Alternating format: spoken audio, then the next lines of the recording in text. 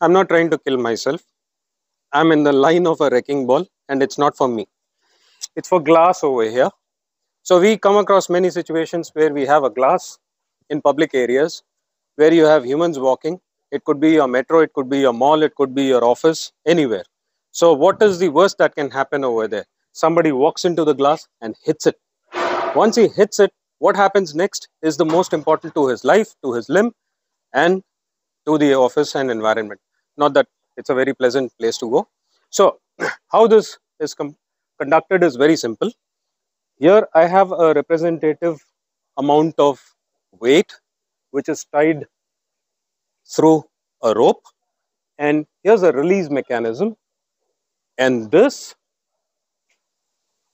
would hit the glass and this test is conducted at three different height levels as to how the person hits the glass at the upper level, at the middle level or at the lower level.